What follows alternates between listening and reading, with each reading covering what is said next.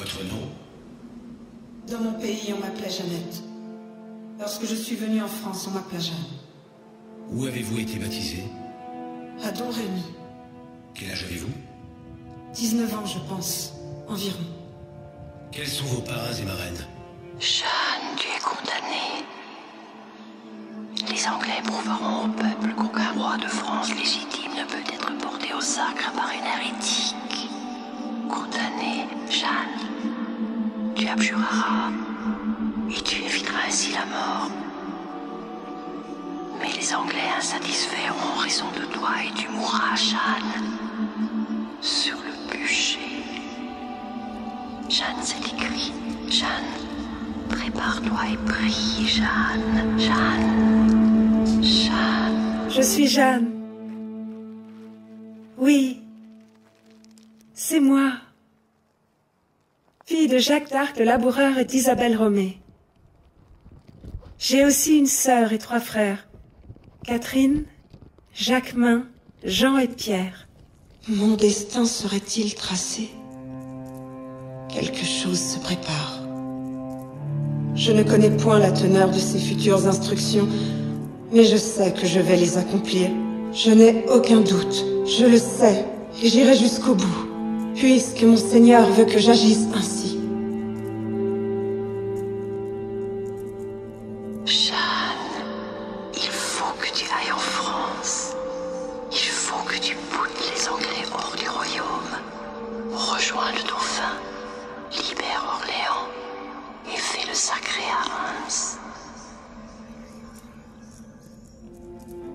Je veux aller en France, à vos couleurs, à la rencontre du capitaine le sire Robert de Baudricourt. Durant l'Axar, mon cousin, merci de m'accueillir à Buret-le-Petit. Et pardonnez-moi.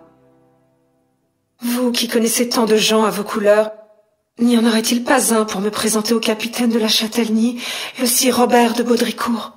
Faites que je le rencontre. Je dois lui parler afin de rencontrer le dauphin. Même si je sais que c'est peine perdue. Ma voix me l'a dit. Elle retournera à Don Rémy.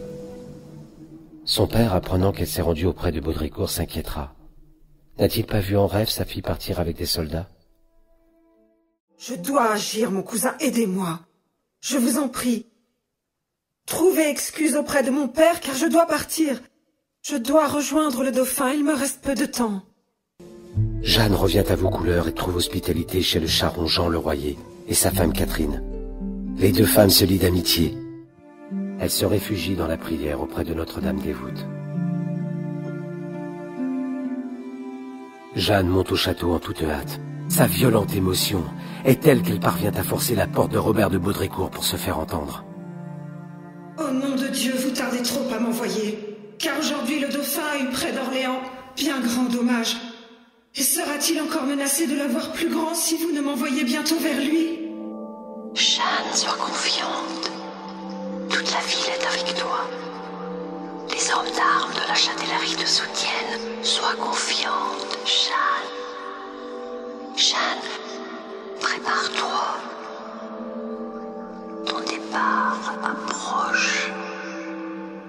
Je m'en remets à vous.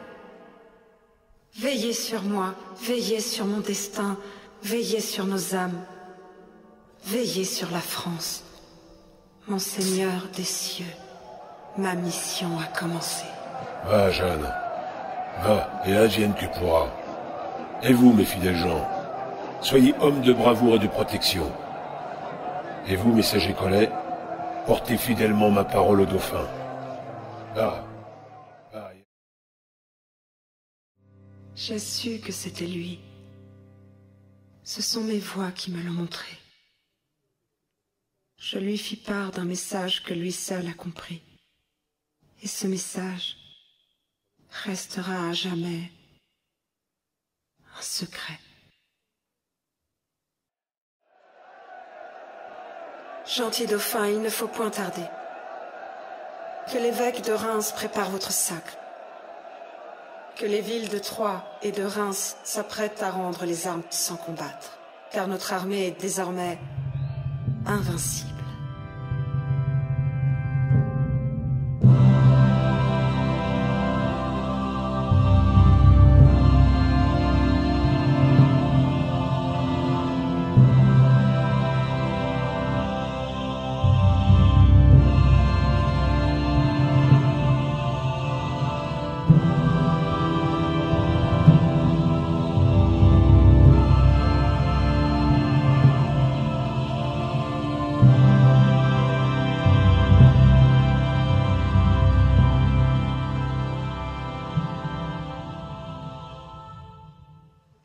La suite de mon destin, vous la connaissez. La prison. Mais le piège anglais avait opéré.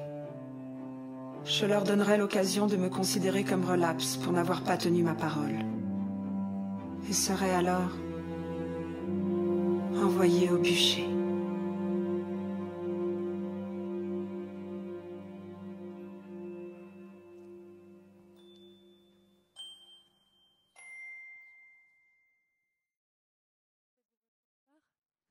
Bien, je suis heureuse de savoir que ma mémoire est encore vivante et persiste ici.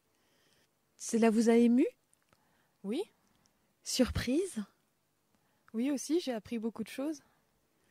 Eh bien, écoutez, je suis heureuse de vous avoir rencontré. Moi aussi. Alors j'espère à très bientôt. Bonne soirée, Charlotte. À vous aussi. Au Au revoir. revoir. Il est temps pour moi de vous quitter.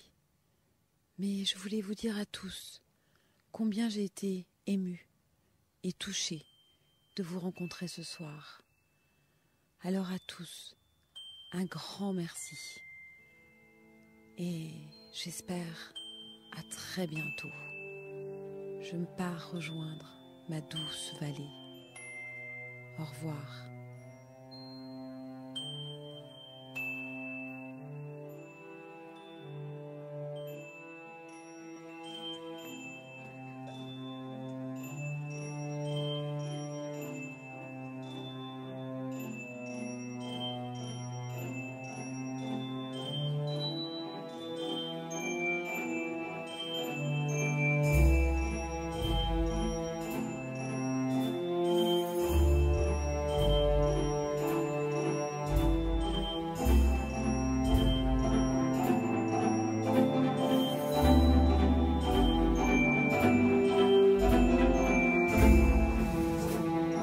Bye.